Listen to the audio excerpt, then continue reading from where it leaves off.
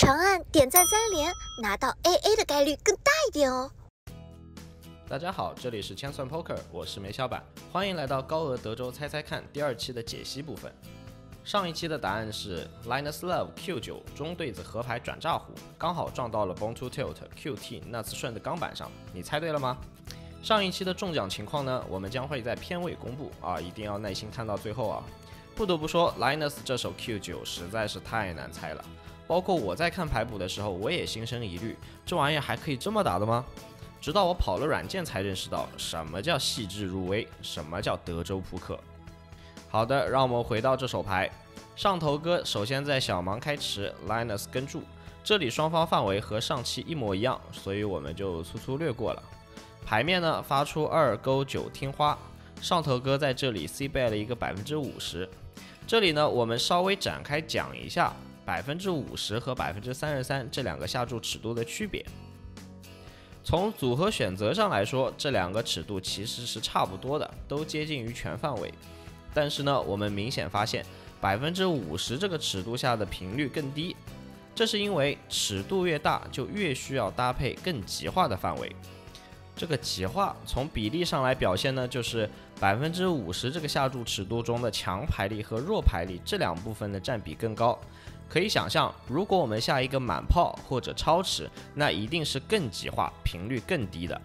好，面对一个 C bet，Linus 在这里呢，由于顶端范围不足，所以他的中小对子都需要跟注。不过呢，他还是可以用两对以上的牌力，混合一些组合听牌去做一个低频率的加注。转牌发出一张红桃五，这里形成双花面。像我之前说的一样啊，这里非常非常适合做一个超持下注去进攻 Linus 的受限范围。不过上头哥在这里选择了百分之六十六的中等注，这个也是可以的啊。在这里百分之一百二还是百分之六十六，这两个就非常像刚刚我们说过的翻牌圈 C bet 百分之五十还是百分之三十那个问题了。还是那句话，尺度越大，范围就越极化。好，Linus 在这里又没有做加注，那我们在这里就可以基本排除了 Linus 有顶两对以上的可能，他的牌力呢就锁定在了成手牌的对子和大量的听牌上面。河牌发出一张方片 K，又进一步增强了小盲的范围。在这里呢，上头哥的选择有很多啊，大注、小注、中注都是可以的。具体的分配呢，可以这个样子。顶端范围打一个超持，然后呢，顶对 K 和 K 以上的呢，可以打一个中柱，然后呢，勾叉中对子可以打一个小柱，拿一点博价值。在这里 QT 那次顺三个尺度是都可以选择的，而上头哥最后选择了一个频率最高的百分之三十三。那在这里他可能只想打一个薄价值，也可能呢是准备勾引炸虎，谁让对手是 Linus 呢？最后精彩的事情发生了。Linus 做了一个非常非常 GTO 的 River All In，我人都傻了，真的。虽然最后的结局他撞到了钢板，但是呢，这个操作非常的耐人寻味。为什么 Linus 在这里可以拿一个中对子转炸胡？不是说好的九叉有摊牌权益吗？那我们今天也来探讨一下这个问题。我们首先知道，当我们要炸胡的时候，我们需要考虑阻挡牌的影响。我们希望我们的炸胡牌可以阻挡对手的跟注范围。同时呢，不阻挡对手的弃牌范围。好，来看看上头哥的应对范围。很明显，Q 九这手牌呢，在这里阻挡了九九 QT、QQ、Q 勾这些啊，整整阻挡了他百分之四十一的跟注范围。同时呢，Q 九仅仅阻挡了一点点 Q 勾、QQ 这些弃牌范围啊，这些呢只占了弃牌范围的百分之二十二。还有就是 Q 九黑桃还不阻挡听牌失败的前后门花组合。这手牌总的来说是一手非常适合转炸胡的牌。